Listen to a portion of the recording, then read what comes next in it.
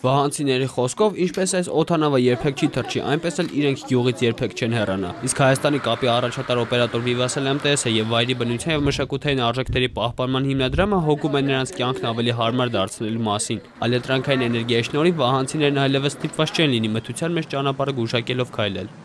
Ահագին ժողովրդի բանը թեթևած էլ հոգսերն էլ լուսավորության վրա։ Մարդիկ են երեխեք են ուժ ժամի գնում են գալիս են, բա մութն ու լույսը նույնն է։ Մարդիկ լուսավորությունը տեսնելով չեն ցանկանում դա այս եղանակին, ասենք ձմեռ վես ցուրտ եղանակի տուն չեն մտնում գերադասում են փողոցով քայլելը։ LED լամպերն անվտանգ են բնության համար, երկարակյաց են ու խնայող։ Դրանք մոտ 80%-ով կնվազեցնեն էլեկտրաէներգիայի ծախսը, կլուսավորեն մոտ 1100 մետր ճանապարհ։ Տոնական օրերին փողոցների լուսավորությունը կտևի ամբողջ գիշեր։ Ուզում մի հատ այդ լիքը լիքը գաղափարով կախիցիտ պաչե։ Մադել չեմ տալի։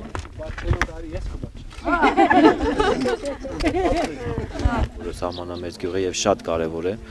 ստրատեգիկ առումով կարեւոր է լուսավորությունը գյուղի։ Ռալֆ Իրիկյանի խոսքով Վահան գյուղն իրականում էլ Վահան է եւ լուսավորության ծրագիրն այդ համայնքում վերջինը չի լինի։ Հաջորդը գյուղի դպրոցի համակարգիչներն արդիականացնելն է։ 10 համակարգիչ մի փոխարին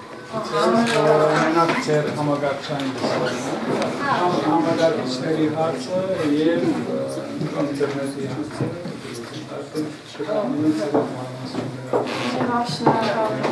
Վահան գյուղում առայժմ տեղադրված է 37 LED լամպ։ Կազմակերպիչները խոստանում են շուտով լուսավորել ամբողջ գյուղը։ Աղվան Ասոյան Նարեկ Եղեզարյան, ժամը լրատվական։